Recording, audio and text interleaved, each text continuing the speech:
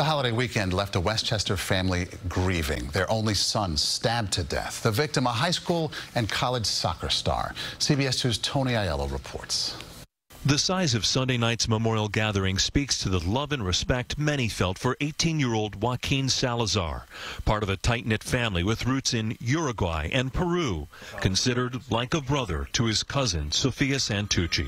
Cared about everyone, selfless. He would always put his friends and family first before anything. Saturday night at Charles Point Park in Peekskill, Salazar and two other young men were stabbed after some kind of altercation. The circumstances unclear. Peekskill police have released few details. Salazar's injuries proved fatal.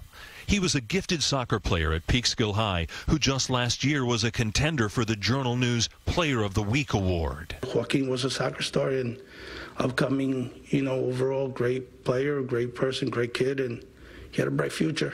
You know, this is not right. The victim's parents and younger sister are understandably distraught. They live, they work for their kids, and for something tragic to happen like this, it's shocking.